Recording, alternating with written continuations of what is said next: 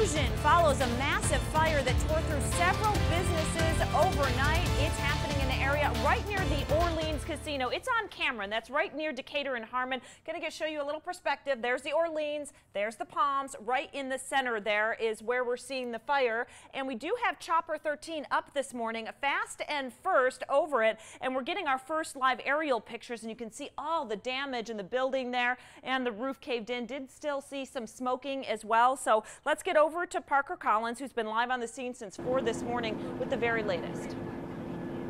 Dana, we just got an update from firefighters, and a few minutes ago I saw them put this tape up. They don't want anybody going near this building because, as you can see, the roof has basically gone. It's in danger of collapsing. That's their fear. So they're not letting anybody go close to it. Even now, hours after this started, we're seeing smoke kind of come up there. Mostly at this point, it's out, but at one point overnight, they had to pull firefighters from other parts of the valley. They had up almost close to 100 firefighters working on this at one point. This is basically a city block, and they had to block off a lot of these streets around it for all their fire engines. We have learned that a firefighter was taken to the hospital because of this, but he's not really badly hurt. He's already been released and is back on the scene.